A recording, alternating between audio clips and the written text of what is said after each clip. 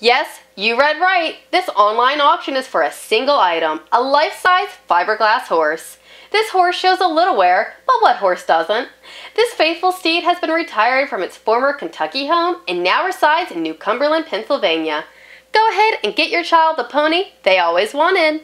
Hey, don't forget to like us on Facebook and follow us on Twitter. See ya!